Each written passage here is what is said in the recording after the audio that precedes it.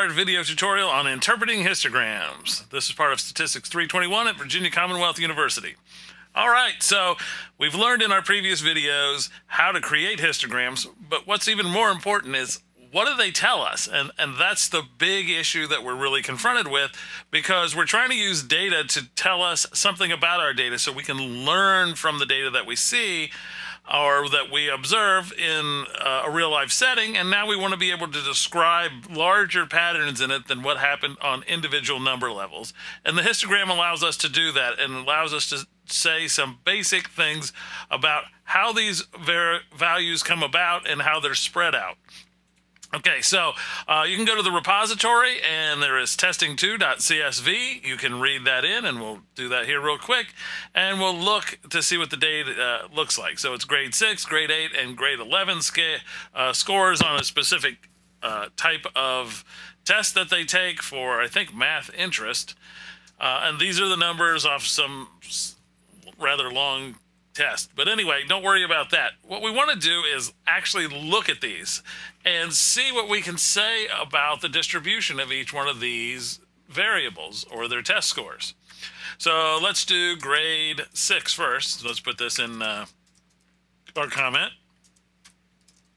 All right, so we're going to do histogram. We're going to do score one, dollar sign grade six. I'm going to do main equals grade 6. And our X label is going to be the score.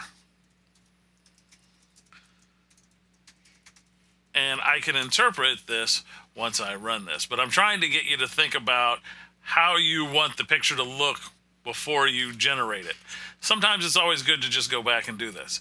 So if I do this, I can see, well, this one uh, gives me a generally a symmetric sort of distribution. Notice that scores that are really low are quite rare. Notice this is frequency. Doesn't happen very often, nor do scores that are high happen very often. And that's interesting uh, that we have this sort of distribution. Most people are in the middle. There's a high frequency between 0.5 and 0.6, and not so much out on the ends. So there's four things that we're going to look for here, and let's write those down and then answer them. So you can use this as sort of a template. Uh, so four things to worry about.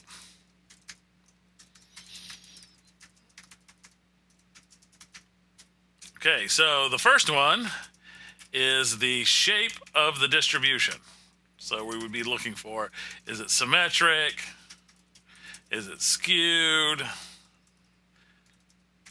Uh, and it could be right or left. Is it bimodal, trimodal? Uh, what sort of picture does it show us? Uh, we're going to look for the center. Where does this thing seem to have the middle of it be? Uh, if we had to guess what the middle value was, we want to know what the spread is. How spread out is this data? And we also want to know if there's something unusual. Uh, so usual features, and those could be gaps or extreme values or anything else that you see that just is seems weird. Uh, but uh, that's why it's called unusual features. So for this particular one, we'll zoom in again. Uh, this seems to be symmetric. So if we were to answer this for ours, so for grade six, we see the shape is symmetric. It appears to be centered around a half. So you can put the center about one half. The spread, how far out does that actually go? And if I look at it, it actually looks, the scale shows us from zero to one. So the spread is from 0 to 1. And if you had to give a specific number, the range, which is the maximum minus the minimum, is 1 from what we can tell, or approximately 1. Uh, the other thing is, are there any unusual features? And in this case, there's really nothing odd. So no unusual features. So this is something you always want to look at on these particular pictures is what does the picture tell us? and we can get a lot of information just by looking at the picture. So this is what grade six told us. All right, so let's go. And instead of being uh, wasteful, we'll just copy and paste again. So we'll copy and paste what we had before, bring it down, and then use the next grade. So hit the dollar sign because I can't remember what grade it was maybe, and we can do grade 8. Change everything to grade 8. Grade 8. And what I'm going to do is I'm actually going to copy and paste my comments here. Why? Because I can just modify them. So let's look at grade 8. So put here grade 8. And it probably, mm, you shouldn't expect it to be the same answer. So let's give this a go. Oh, so this looks very different. So this is clearly skewed to the right. And how you tell is which way does it the extreme values being pulled or where it looks like it's being pulled. It looks like it's being pulled to the right uh, from left to right.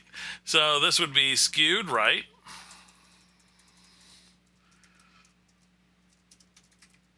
Uh, let's see, where would we guess the center of this thing to be? I'd probably guess it to be way back here, maybe at 0.2, 0.19. And, you know, you, you, that's why I use the word about. You're estimating it. So I'm going to say it's about 0.19.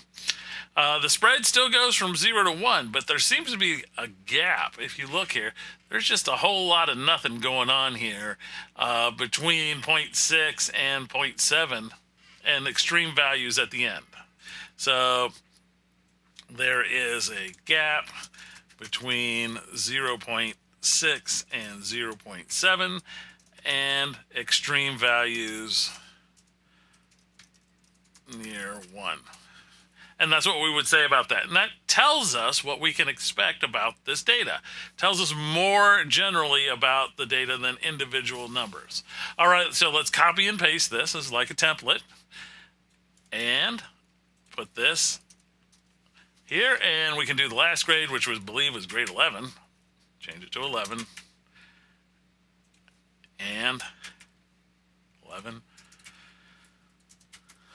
Okay, so let's see what this looks like. We're going to run it, and we'll look at the picture.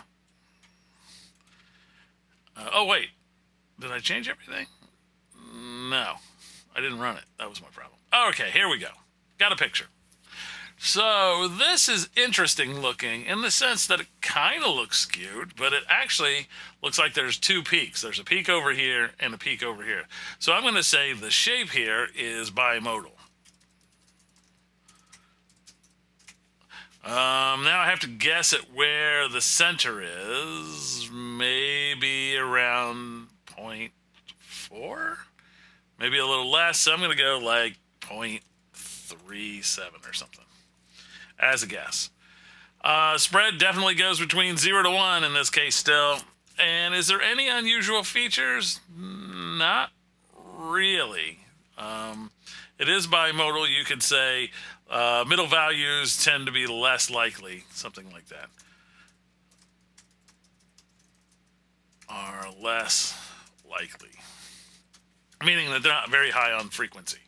So uh, it's really important that you put this kind of information uh, whenever you're doing any analysis because later when you have to write up a report, you, you can look at it and just see what you should say about each one of these variables because often you'll be dealing with lots of pictures and lots of things all at once and it's nice just to have it in one place, easy to look at, easy to find. Also, if you're turning this in for this class, I'm expecting you to write these four things. And if you don't write the four things, uh, don't expect to get anything more than probably one point out of five if it was worth five. Uh, because it's not just making the picture that's important, it's what that picture tells you. All right, so uh, this is the end of our bit on histograms, and we're going to move on to box plots next.